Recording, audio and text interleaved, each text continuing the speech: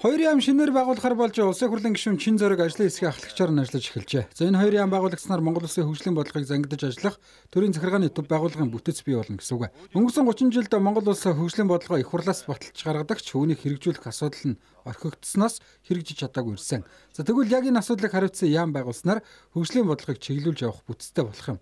За харин цахим хөгжлийн асуудлагч хариуцсан засгийн газрын бүтэц байх нь цаг үе дагсан оновчтой шийдвэр болно гэж улсын хурлын зарим гишүүд үзэж байна. Тэр эдийн засгийн хөгжилтэй холбоотой яам энэ бол арчс намын засгийн үед болохоор энэ чиглэлийн яамыг бас байгуулад ингээд явж исэн.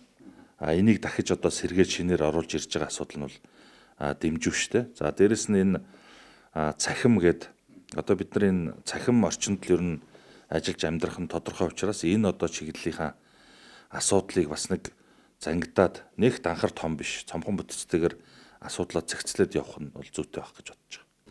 За засгийн газар хоёр яам шинээр байгуулснаар хүн хүч төсөв оронтойгоод бөөн зардал шинээр гарч цар тахлын энэ хүнд нөхцөлд татвар төлөгчдийн мөнгийг үр ашиггүй зарцуулна гэх олон нийтийн шүүмжлэл гарах нь тодорхой. За тэгвэл энэ асуудалд улсын хурлын гишүүн Бямб цогт тайлбар өглөө. Тэрээр засгийн газрын төлөвлөснөр одоо байгаа бүтцээ ашиглах учраас хоёр яам байгуулахад төсөв хөрөнгө шинээр зарцуулахгүй юм байна засгийн газрын гишүүдийн дөрвөөс илүүг нь их хурлын гишүүн байж болох хуулийн нэмэлт өөрчлөлт орсон шүү дээ.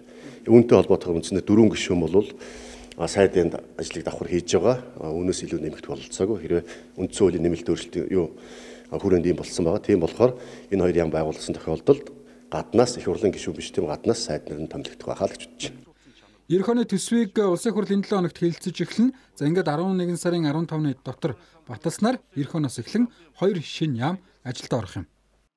torto.